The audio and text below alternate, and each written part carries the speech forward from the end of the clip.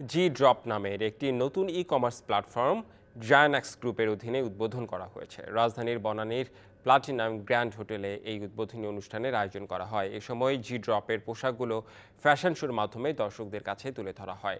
Show stopper হিসেবে উপস্থিত ছিলেন অভিনেত্রী ও মডেল আনিকা কবির শখ। অনুষ্ঠানে জি ড্রপের ম্যানেজিং ডিরেক্টর জাইম আহমেদ বলেন, সবচেয়ে ভালো মানের পণ্য দ্রুততম সময়ে কাস্টমারদের পৌঁছে দিতে প্রতিষ্ঠানটি অঙ্গীকারবদ্ধ। এতে আরও উপস্থিত ছিলেন প্রতিষ্ঠানের chairman Tahmina Rahman chief operating officer Parvez Ahmed সহ বিশিষ্টজনেরা।